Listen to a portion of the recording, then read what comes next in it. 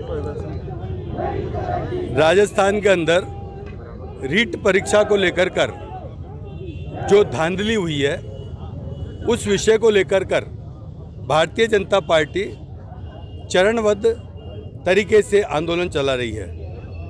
आज उसी कड़ी में अनुसूचित जाति मोर्चे के द्वारा कार्यक्रम होने जा रहा है। इस रिट परीक्षा को लेकर कर राजस्थान की सरकार ने स्वयं माननीय मुख्यमंत्री अशोक जी गहलोत ने स्वीकार किया है कि रिट का पेपर लीक हुआ, उसके अंदर धांधली हुई।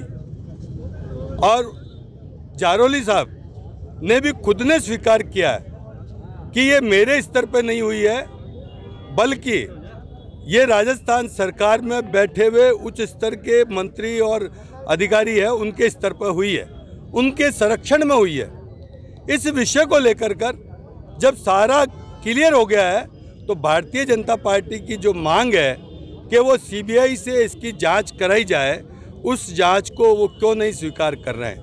उसके पीछे जो भारतीय जनता पार्टी और आम जन को विषय समझ में आ रहा है कि कांग्रेस की अशोक गहलोत सरकार ने, अशोक गहलोत सरकार ने अपने सरकार में बैठे हुए बड़े मगरमच्छों को बचाने के लिए और उनको अधिकारियों को बचाने के लिए, छोटे अधिकारियों पर कार्रवाई कर कर कर, और इसलिए बच रही है।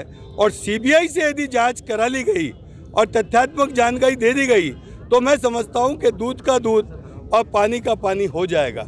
इन सारे विषयों को लेकर कर क्योंकि राजस्थान में साढ़े तीन वर्ष से जिस तरीके से पेपर लीक होना और उसके बाद नकल होना नकल और पेपर लीक के गिरोह पैदा हो गए हैं और इसके साथ साथ बलात्कार हो, चाहे डकैती हो, चाहे लूट हो, ये सारे ऐसे विषय हैं जिन विषयों को लेकर कर भारतीय जनता पार्टी लंबे समय से आंदोलनरत है।